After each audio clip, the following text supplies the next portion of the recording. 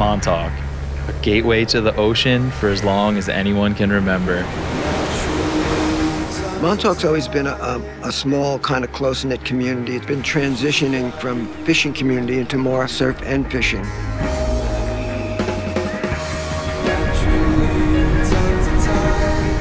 Montauk's like quaint little fishing village with a drinking problem. We're seeing just crazy amounts of, of sea life out there. Surfing in Montauk in this community, it's really part of the fabric of what makes Montauk so special. Comfort. There's some kind of weird energy out here that, that pulls you in. We have everything. So I think it's worth the hype for sure. And when you're here, you are away from everything. The end.